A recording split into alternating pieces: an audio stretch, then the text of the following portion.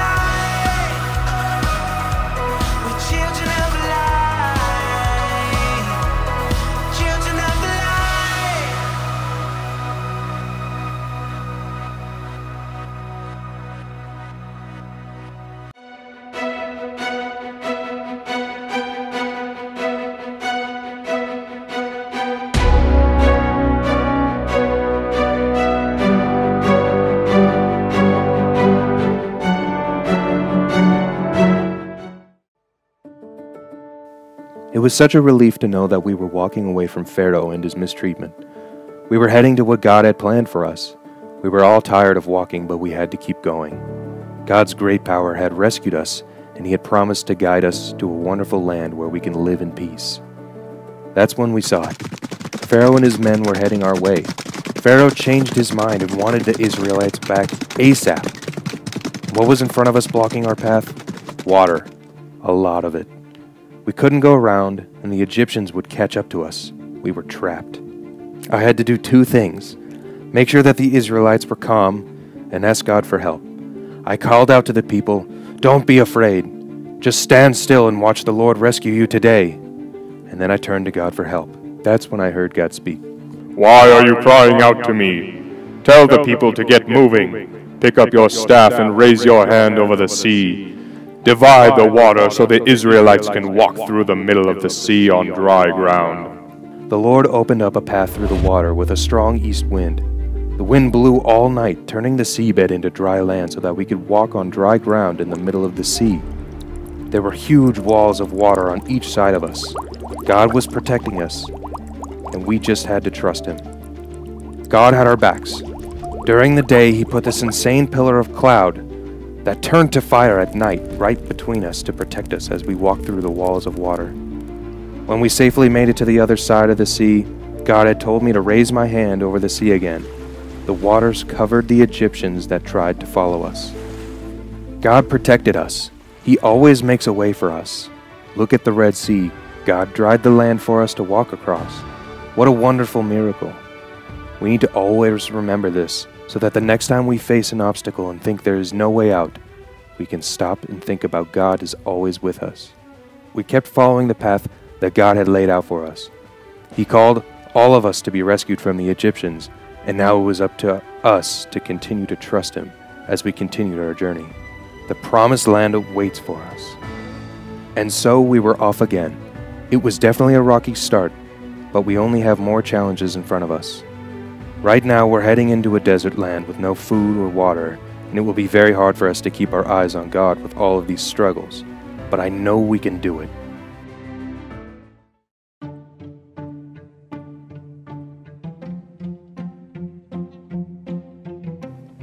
Hey kids, I'm Kyle.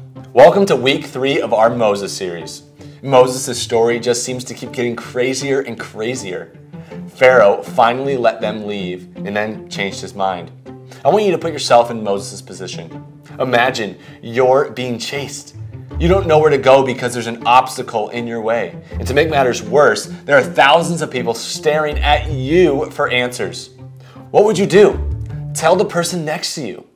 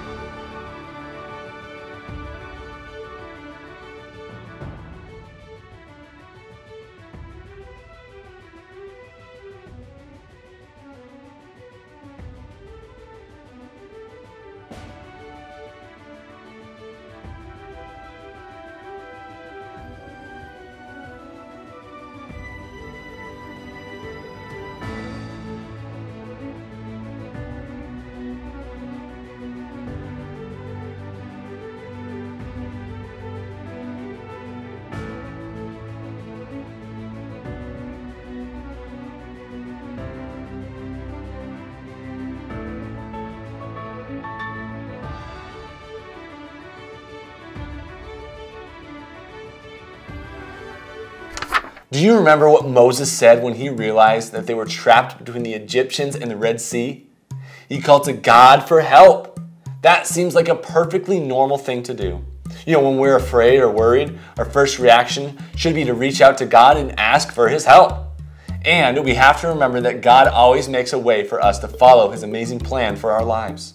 So today we're learning God always makes a way. Hey, let's all say that together. You guys ready? God always makes a way. God was already with Moses and was guiding him. All Moses had to do was trust in God. When Moses called out to God, he was probably experiencing a lot of doubt. But God reminded Moses that his power was already with him. All he had to do was use it to do what he needed to do to save the people. God helped Moses part the Red Sea. That's pretty insane. They never would have outrun the Egyptians if they tried to go around the water, but when they trusted in God to help them, they did the impossible. There will be obstacles in the way in our lives. Our paths aren't one straight road that all goes the same way to God. There will be obstacles in the way in our lives. Our paths in life aren't perfect. So many problems and temptations get in our way as we try to follow God. But one thing we have to remember is that no matter how hard the obstacles we're facing are, God will always make a way for us to get back on His path and His plan for our lives. God always makes a way. Let's all say that together. You guys ready? God always makes a way. So, the whole point of this week's lesson is learning to trust in God. Moses had to trust God throughout so many parts of his life where things seemed scary and unsure. But this week's lesson especially points to trusting God. When God made each of us, He designed an amazing plan for our lives. In the first week of this series, we talked about how God chose us. And He did. He chose each of us and made us unique. He chose an amazing plan for us. And part of living in and experiencing that plan that He has for us means that we have to trust Him. We see in Romans chapter 12, verse 2, what His plan is for each of us. It says this Then you will learn to know God's will for you, which is good and pleasing and perfect. God's plan for us is good, just like God's plan for the Hebrew people was good. There may be things in our lives that make us sad or confused or even doubtful. You know, the Hebrew people saw God's amazing power with the plagues when they got to the Red Sea. They doubted what to do. But God made a way for them.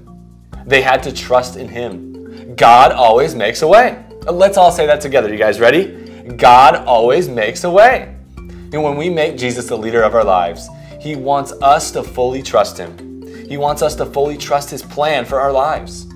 You may have an obstacle in your way right now that is stopping you from fully trusting God. Maybe you're nervous about God's plan for your life. Maybe you're questioning if you should trust God at all. I want you to remember that God's plan is perfect. You may have a big obstacle in your life that is stopping you from trusting God, just like that big Red Sea. It could be that you're not sure about God. It could be that you're experiencing some sadness in your life. That's an obstacle that is stopping you from trusting God. I want to challenge you to give that obstacle to God just like Moses did. And God will make a way. God will take care of you when you trust Him. All you have to do is talk to God and ask for His help. God always makes a way. Hey, let's all say that together. You guys ready? God always makes a way. Do you trust God in your life? Think about some areas where you trust God the most. And what are some areas where you need to lean into God and trust Him more? Why do you think you struggle with these areas? The next time that you need to lean on God, just remember that if Moses and the Hebrew people could walk through dry land, God can help you with your obstacles too. And maybe you're ready to make Jesus the leader of your life right now so that you can start trusting God and His amazing plan for your life. You can do that with me right now. Just pray with me. Dear Jesus, we lift you up today. You are perfect. Thank you for all that you have done for us. And Lord, I want to trust in you. I want to give my life to you. I want you to be the leader of my life.